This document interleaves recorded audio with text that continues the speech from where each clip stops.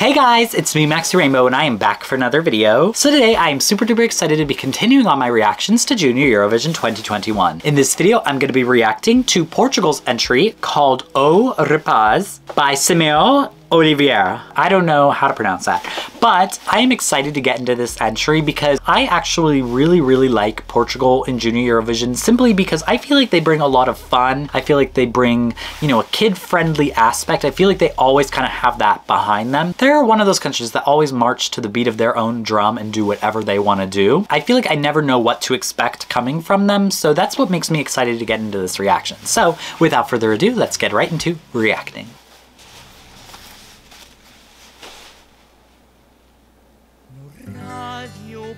Oh, is that his voice?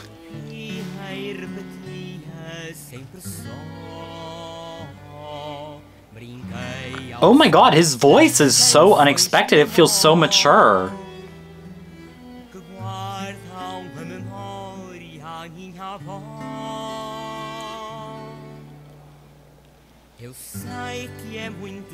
He looks very old. How old is he? He must be 14. He looks like much older than I would have expected. He kind of reminds me of my brother, my twin brother.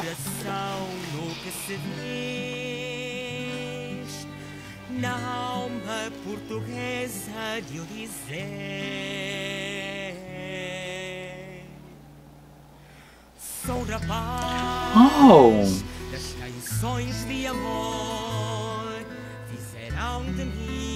I wonder what he's singing about.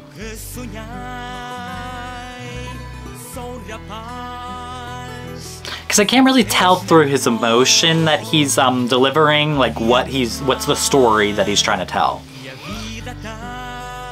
It's very interesting. It feels very Portuguese. It feels like I'm walking through like, you know, the streets of Portugal. I can feel the ocean breeze and I'm just vibing. Maybe there's like a person on the street playing an instrument. That's the vibe I'm getting.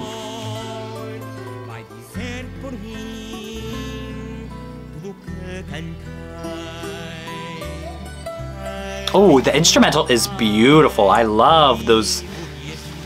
Mmm, the sound. It's so good.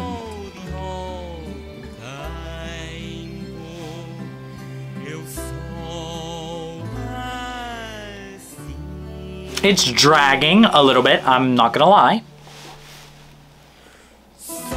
Oh!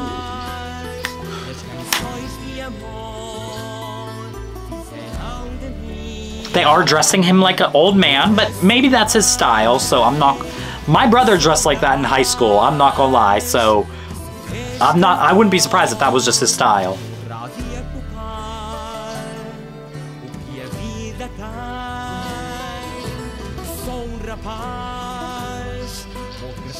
O amor vai dizer por mim tudo que cantei.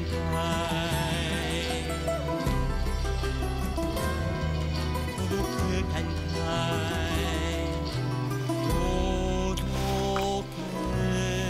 There's something weird about the just I don't know something about a child having that deep of a voice singing is strange to me.